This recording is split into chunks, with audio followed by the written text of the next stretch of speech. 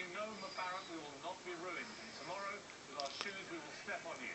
One of tens of thousands of protesters in Tahrir Square today, all of them fighting for Egypt to go away way of Tunisia, where strongman Ben Ali was overthrown last month. Prime Minister Ghannouchi, uh, thank you for joining the show. Can I ask you immediately, you've been in charge of your country for 22 days now. Uh, have you managed to achieve stability? Nous avons passé des moments difficiles. Il y avait des problèmes sécuritaires. We went through difficult times. There were security issues that are fortunately now in the past. We are now working on social challenges, given the urgent demands to improve living conditions, but that has not stopped us from preparing for the future. We adopted concrete measures to ensure the historic change that our country needs, so that the changes towards democracy, freedom, and respect of the fundamental rights of the Tunisian people be assured, so there will never ever again be a dictatorship in Tunisia. Mr. Prime Minister, can Right I ask on. have you been surprised by the events in Egypt? And do you believe that President Mubarak should now uh, go immediately? Nous nous occupons de notre pays. We are worrying about our own country. Our revolution is unique. It was caused by the young. Facebook and Twitter were the levers. It has been held in a peaceful way. Today, we were able to break with the past thanks to what we have in our DNA. Tunisia, as you know, is an exporting country, but we do not pretend that we export revolutions. We have friendly relationships with all peoples, regardless of the region where they live. Mr. Prime Minister, what happened in Tunisia was that the uh, young people decided they wanted revolution. They were unhappy with the regime, and we have seen the same now happen in Egypt. Uh, do you believe that this is a crisis for the whole of the Middle East? Enfin, je n'ai rien pensé réellement depuis le 14 euh, I haven't really thought about it.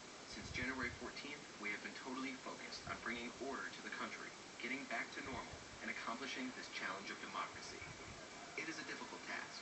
We are all mobilized, youth, adults, elderly, women, children, to succeed. What preoccupies us today is Tunisia and only Tunisia. Prime Minister, if President Obama is watching this interview, uh, what would you like to say to him and the American people? How can they help you in Tunisia? First of all, I would like to thank the American people that have always helped Tunisia since our independence. We never forget what the American people did for Tunisia in critical moments of our history. What I would say to him is that since January 14th, we have received many messages of sympathy and support.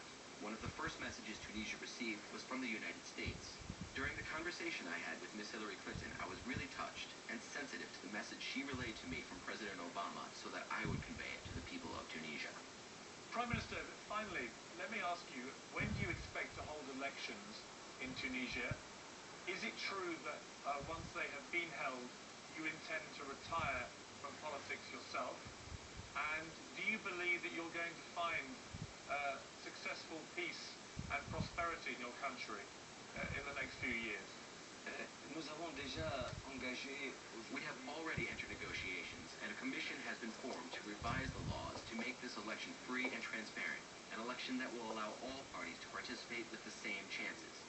It is the task of the National Commission working on political reform that must be undertaken.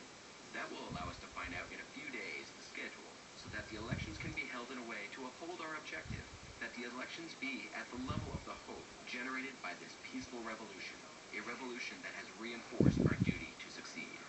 In my first interview with Tunisian television, I said that my political career will end the day when the baton is passed to the next government, which will be formed once the elections are held. We have lots of young people, great talents. We have to leave room for those who want to serve this country and who want to give Tunisia a chance to become a democracy, to make Tunisia a free country, a country where energy is freed from every constraint, a country that is dignified for its 3,000 year history. I have confidence in our people. I have confidence in our youth. I have confidence in all political parties that today are eager to preserve fundamental freedoms. Those that respect women's rights, women's freedom, freedom of religion, freedom of thought, we have confidence that